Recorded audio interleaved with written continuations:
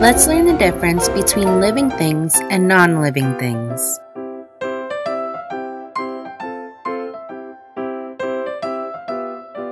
Living things move, eat, breathe, reproduce, grow.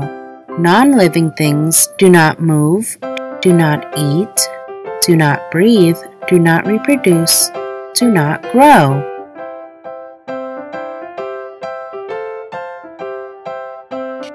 Let's look at an example of a living thing.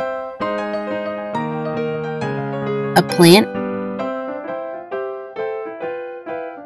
moves, eats, breathes, reproduces, grows.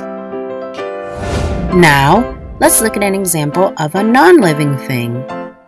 A chair doesn't move, doesn't eat, doesn't breathe, doesn't reproduce, doesn't grow.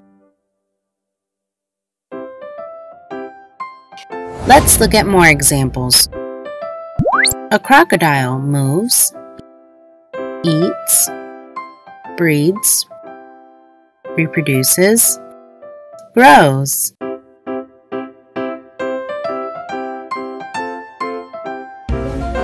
Teacup doesn't move, doesn't eat, doesn't breathe, doesn't reproduce, doesn't grow. A fox moves, eats, breeds, reproduces, grows. Shoes doesn't move, doesn't eat, doesn't breathe, doesn't reproduce, doesn't grow. Human beings move,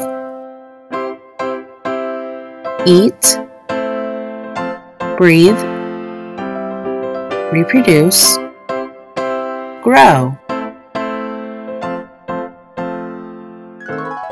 A hat doesn't move, doesn't eat, doesn't breathe, doesn't reproduce, doesn't grow.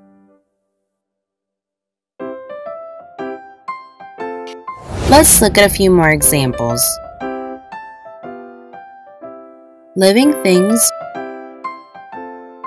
animals, insects, birds, plants, non-living things, transportation, furniture, toys, computer accessories. Hi kids, hope you like the video. Subscribe for more videos. Thank you. Bye bye. Living things move,